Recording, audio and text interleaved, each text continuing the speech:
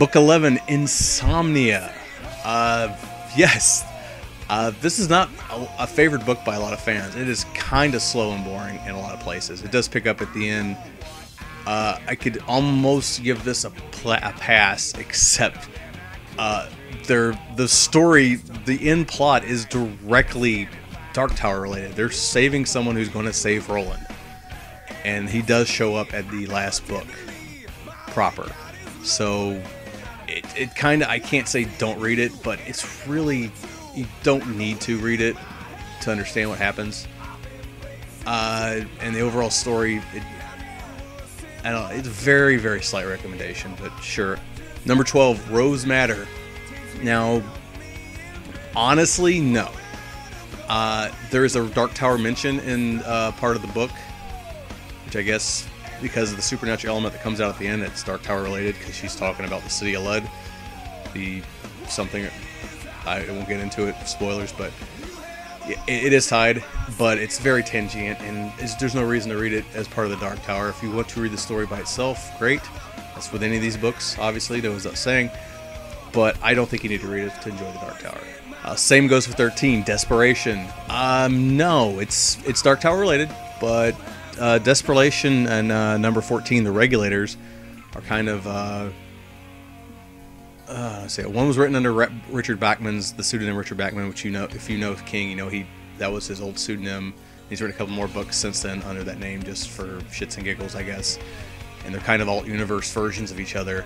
They do both kind of tie to the Dark Tower, but I don't consider them strong uh, enough needs to go into you know great ties. Uh, fun books, uh, especially the Regulators. I thought was a pretty fun little uh, weird romp. But uh, yeah, uh, not not necessary. Uh, short story collection. Number 15, short story collection. Everything's eventual. Not getting too much. Yes, there's a character in there you you'll meet in the actual story called Everything's Eventual. It's a Dark Tower character. Gotta, I'd say read it. You can just you can just find the book cheap and just read that story. It's an easy enough read. Yeah, go ahead. Uh, definite recommendation. Decent story. Uh, number 16, Bag of Bones. I don't even. The list says it's. Uh, the guy writing this list says King says it's tied, and he, says it's a very tenuous tie. I, I don't even remember what the tie is. I honestly say uh, there's no reason to read it. It's it's easy to leave out. Uh, number 17, The Little Sisters of Eluria. This is also found in Everything's Eventual. So if you got that, go ahead and read that. Obviously, that's it's it, it's a Roland tale, so obviously ties in. Uh, some of the stuff he deals with in that book does show up in like uh, the books we're about to get to at the end. So, yep, absolutely easy read. Uh, number 18, Hearts in Atlantis. Uh, really, it's the first story you need to read, and this one, uh, not the story that gives the uh, book its name, although all the stories in Hearts in Atlantis is about four, tie in together. It's only the first one that's really a Dark Tower story. It's called Low Men in Yellow Coats. You've seen the movie version, uh, Hearts in Atlantis, which makes no sense because there's no hearts. They don't play hearts at all in the movie because they only do the Low Men in Yellow Coats story. So it doesn't make any sense. And they changed it from Dark Tower to G Men uh, instead of like the Crimson King's uh, Low Men from the uh, the other world coming after this guy. It's uh, it's federal government. Uh, it makes sense for a movie, but in the book it makes makes a hell of a lot more sense. And the title makes a lot more sense if you read the next story, which is Hearts in Atlantis. It explains where the title comes from. But yeah, it's the first. Uh, you don't want to read the whole thing, uh, but don't. It, it doesn't matter. It's it's a pretty good book overall, but the first story, Low Men and Yellow Coats, is really the one you gotta. is really an integral part of the story, especially in book seven. Then we get to 19, uh, Black House. That's the sequel to the Talisman. This is where we tie the Talisman directly into uh, the Dark Tower. Yes, this is a definite read. Uh, kind of funny, uh, what they're doing in Black House does directly affect uh, the Dark Tower, but they never really see each other. And I don't think Roland's even aware of what was done you know, that really helped him out. But such is life, and bigger parts of a bigger machinery trying to save the world that can happen. It absolutely uh, definite must read, uh, especially if, you know this one goes right into book seven, uh, along with uh, Low Men and Yellow Coat. I say Low Men and Yellow Coats in this one, you know, really set up book seven so well. Uh, I think it's you know they're must reads. So uh, absolutely pick up this one. Like I said, if uh, you wanted more backstory on Jack, you know you can read the Talisman. It's just it's a fun little read. I actually just would read them both together, and then uh, go into the back into the Dark Tower series proper.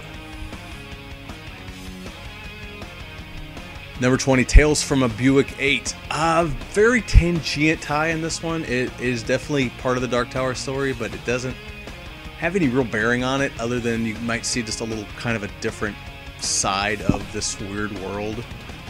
Uh, but overall, it's, it's easily skippable. Uh, I don't think it's that great of a book. It's, it's okay. But uh, yeah, easily skippable one. Uh, book 8 of the Dark Tower series. I know it seems like we're skipping ahead, but no. Uh, number 21 is Wind Through the Keyhole.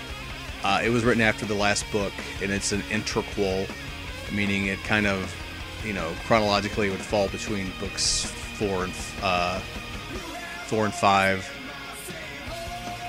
Yeah, between books 4 and 5.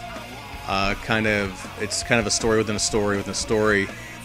Uh, it kind of tells what happens between the end of uh, Wizard and Glass after the, his the last story he told, and what happens before they get to this uh, the song of Song of Susannah or the Wolves of the Calla. Before they get to Calla, Thunderclap, you know something happens, and then he's telling a story, and then while he's telling the story about himself, himself in the past is telling another story about some old timey gunslinger, and it's it, it sounds confusing, but it's really really good. It's uh, uh it's actually fairly unneeded. You could just read the first seven. Never need this one, but you know, it's fun hearing a little, a little bit more about Roland's past and hearing this great story about the mythos of the Dark Tower world, which is what the third, the story within a story within the story ends up being about. So, uh, definitely, definitely, I consider this a, a must read. Uh, but really, it, like I say, if you're just one of those like, I just want the base story, one through seven will probably do you. Number 22, back into the main uh, Dark Tower series again, skipping back from 8 to number 5, Wolves of the Calla. Uh, a little backstory on this. Again, there was a long break.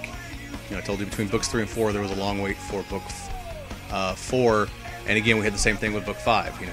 And book 4 didn't really move the plot along. It was, I mean, like I said, my favorite story, but it was mostly backstory. Like we got the front and the front, the beginning and the end of book 4 progressed the story a bit, but for the most part, the book is all just a tale from his past. So this is where we finally properly, you know, really move the story along from the wastelands. This is like thir- so basically 13 years since we really moved the story forward.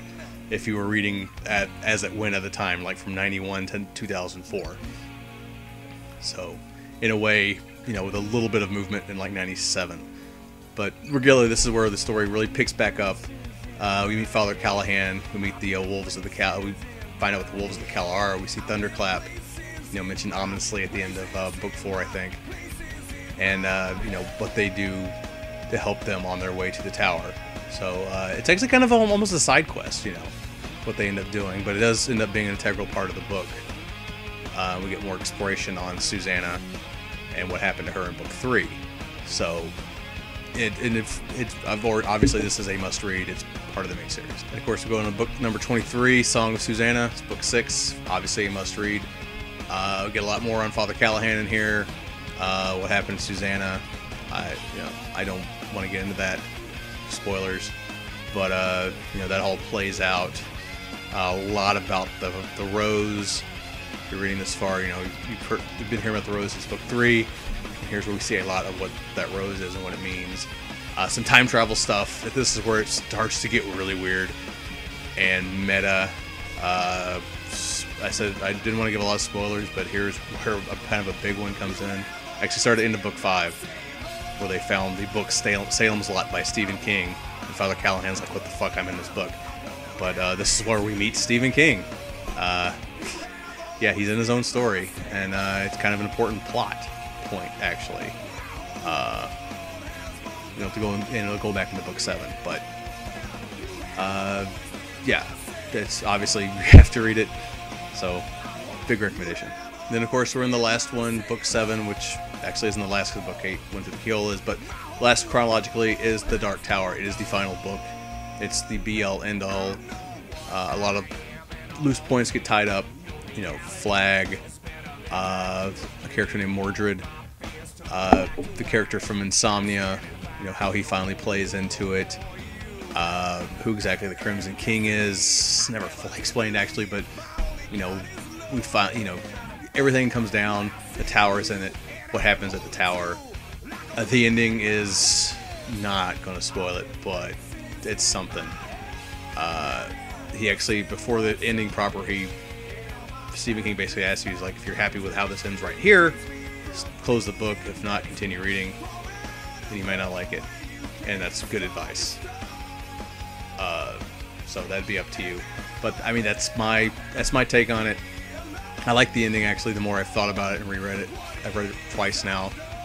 I'm actually very happy with the ending. I think it's kind of fitting. Uh, but a lot of people didn't, and I can see why. But overall, uh, yeah, it's a great ending to a book. It took a long it took a long time to get this out. You know, so he started writing these the short like short chapters for a men's magazine in the 70s and finished like in 2004. So it was a long way coming. There's a lot of gaps in between. These last three books were the five, six, and seven were kind of written in uh, in one shot. Not soon after his uh, uh, accident where he nearly died. He got hit by a van. Story, but that is written into the story. Obviously, like I mentioned, King himself is in it. So you know, they kind of forced him like, crap, I don't want to die and not finish the story. Like, just disappoint too many people. So uh, they're good. Uh, the last three do are kind of do kind of take a different path, but it's still good. Uh, obviously, if you got that far, you want to, want to finish anyway. And and I really enjoyed it, especially at, I don't know how I really felt about it the first time I read it. Like I liked it, but I was like, it was kind of weird. And then rereading it, I think I got more of a sense of what he was trying to write about it, or what he was trying to say about it, and you know, I liked it a lot more. Now, there are some other books that have tangent ties to them. I'm just going to go here and list a few. Again, these are definitely, uh, you know, I'll give you a slight recommend. Basically, going to be slight to no recommendation. So let's go through, shoot through these last few real quick. Uh, Tommyknockers, no. It is very, very connect, briefly connected to the Talisman, which connects to the Dark Tower. It's not worth reading. It's not one of his better books anyway. He wrote it pretty much high out of his mind. It's uh, it would be a good book if it was edited about 200 pages off of it, which he said himself. So, you never read it, you don't need to read it for this. Uh, Needful Things, The Storm of the Century. I, again, it's just it's just connect, characters that connect to other characters that connect back to the tower. Not needed. I never I never read Storm of the Century or the screen or never seen the movie or read the screenplay. Read Needful Things, which I think is a fun book, but not needed for this. I've never read The Plant, actually. It's a serial novel I think he never finished, and it has apparently uh, a lot of uh, uh, tower stuff connected to it. Couldn't I don't know this. I think it's one of the few Stephen King things I've not read, so you can uh, you can leave that one off. Dreamcatcher, it's it's tied to the same world. It comes from the same world as it, so yeah. Again, it's not needed. Uh, it's again, it's not very good. I don't think. It's fun in a weird way if you like shit weasels. Uh, 112263. Uh, apparently, King says it's not tied related to the Tower books, which is dumb because it's they go to Derry and Derry isn't is it. In fact, they meet the kids from Derry that are in it in the 50s. So it's definitely a tie to it's definitely a Tower book, but in a tangent way. But you don't need it, obviously, other than just like, hey, cameos from the the Losers Club in it that's about it, at least for now. Uh, the story's a lot of t- time travel. I really liked it. It's a fun story. But yeah, in terms of Tower, no. As least of as of now, you know, if he ever revisits the Tower and we get more explanations of stuff, maybe that'll tie in. But King himself is saying that really. So yeah, that's it. That's your Tower reading list. Uh, like I said, if you want to just keep it short and sweet, just read books one through eight. You want to keep it shorter than that, you can skip book eight. It's just a uh, story in between as it's still a loss. All his books are doorstoppers essentially, except for the first Dark Tower book. I think it's like 200 pages. The rest of them are all 400 and up. I think seven's like an 800 page book. Uh, you can skip all, so you can skip all the tied-in books. Uh, you know, you can take all my recommendations. You know, depending on how much you want to get.